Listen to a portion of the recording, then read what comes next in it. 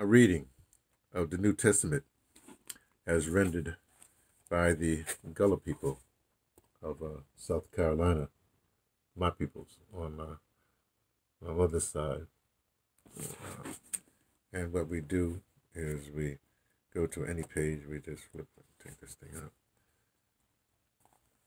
And we go, let's go to Romans, uh, we go to page uh, 531. And this will be Romans, uh, let's do right, Romans 8 1. And uh, as you can see, the way the Bible is done, uh, this big font in the middle, well, larger font in the middle is the Gullah. And the uh, side thing, that's the King James Version of the Holy Bible. You know, the little Christopher Marlowe Shakespeare language.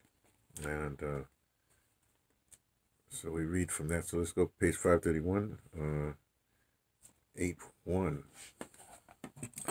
Course, such small font, I have to use my uh, the reading glasses. I don't have to, but I'd be struggling, you know.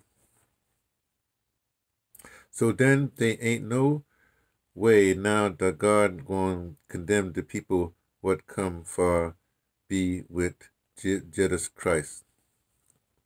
And it's uh, translation, uh, chapter 8 1 of uh, Romans. There is, uh, there is therefore now no condemnation to them which are in Christ Jesus, who walk not after the flesh, but after the Spirit. Uh, as you know, we read it twice. So here's the second reading.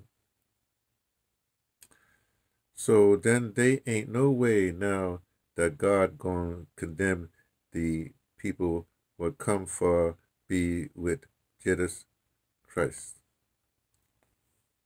Translation. There is therefore now no condemnation to them which are in, Jesus, uh, in Christ Jesus, who walk not after the flesh, but after the Spirit. Reading from the Gullah Bible. From me, T, from the Pattersons, taking the train to Tibet, letting you know what I only suspect.